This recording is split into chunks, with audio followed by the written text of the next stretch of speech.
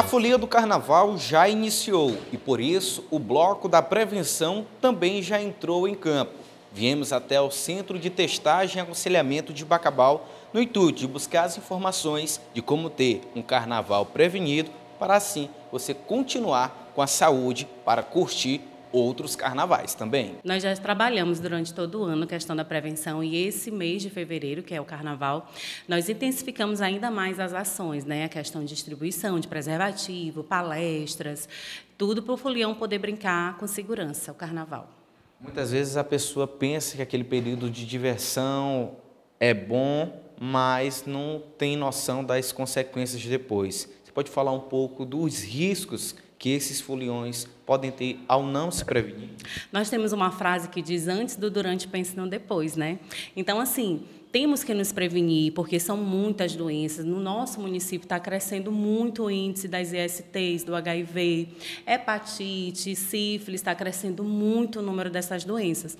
Então, nós estamos aqui no CTA, estaremos lá na, no, no, no Centro Cultural durante o Carnaval, para, com distribuição de preservativos. Temos também a PEP, que é uma uma profilaxia pós-exposição, que podem estar vindo aqui também depois, né?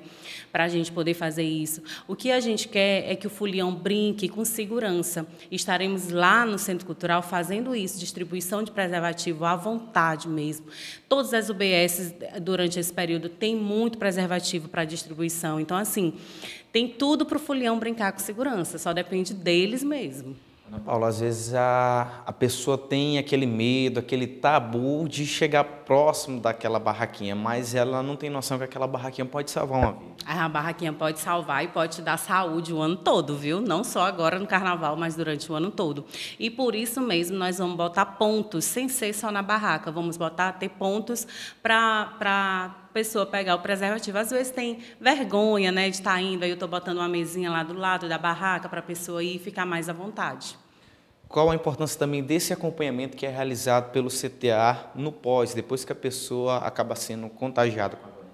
Pois é, nós temos agora a PEP, como eu falei, né, que é um pós, só que é uma, uma medicação que a gente faz um tratamento que é só 72 horas após a relação sexual não protegida, né? Ou então que a camisinha estourou, alguma coisa, você tem o, o socorrão vai estar funcionando com essa PEP e o CTA também vai funcionar, não durante o período de carnaval, mas após o período de carnaval estaremos aqui. Ana Paula, queria deixar o espaço você, inclusive, convidar a população para o bloquinho da saúde, o bloquinho do CTA que vai estar aí no período da isso. Estaremos amanhã lá no, no Frente Paraíba, na Praça Silva Neto, fazendo o Bloco da Saúde, o Bloco da Prevenção com distribuição de preservativos, panfletagem.